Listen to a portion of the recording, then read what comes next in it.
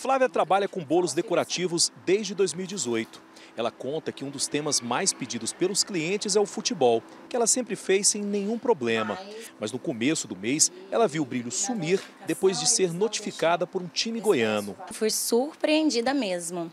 Na segunda-feira, dia 2, quando eu vim trabalhar, é, para minha surpresa, tinha uma notificação extrajudicial na minha mesa de trabalho, a qual eu estava sendo notificada pelo crime de falsificação pela produção do topo de bolo. O trabalho feito pela Flávia é divulgado pelas redes sociais e foi por meio da internet que a empresa representante do clube denunciou a página e exigiu que ela pagasse uma multa no valor de dois mil reais por ter usado o brasão do clube sem autorização. Ela conta que a proibição impactou no número de trabalhos. Diminuíram porque a gente não pode pegar, né, assim, por segurança e e também porque eu não quero passar por isso mais, então a gente não pode pegar temas licenciados. Eu tenho que ter essa licença para poder usar a imagem.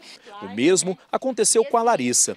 Ela também foi notificada pelo time goiano depois de fazer um bolo em homenagem ao Atlético. Eles simplesmente mandaram para nós um documento, né, falando que nós teríamos 48 horas para resolver ou o processo ia direto para a justiça, né? Nos dando uma outra solução, que é para um pagamento é, de um valor aqui, né?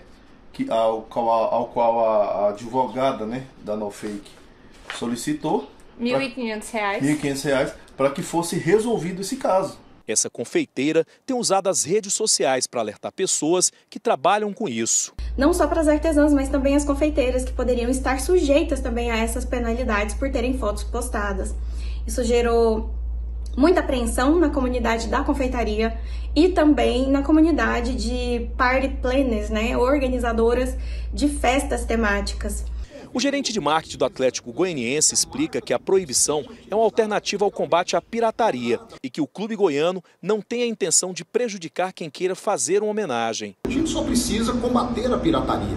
Tanto que o Atlético, sempre que é procurado por esse pequeno produtor, acaba facilitando, né? É, que inclusive eles se tornem é, alguém que licencia também os produtos do clube. O licenciamento é uma fonte de receita muito importante para o futebol, porque através dos royalties e garantias mínimas que as indústrias pagam, os clubes têm uma fonte de receita onde eles podem investir em melhorias da sua infraestrutura, melhores salários e assim conseguirem competir cada vez mais nas competições. Para muita gente pode até parecer inocente fazer um bolo, uma camiseta ou até mesmo uma tatuagem usando aí o brasão do time do coração. Mas o que muita gente não sabe é que esses times têm de fato total direito de pedir qualquer tipo de reparação pelo uso indevido da marca. Isso porque esses times detêm o chamado direito de propriedade.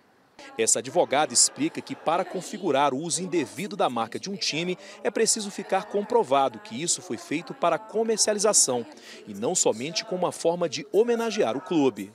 Os brasões, o nome, mascotes, existe uma série né, de produtos que esses times é, criam, que são também protegidos como marca, né? são marcas registradas.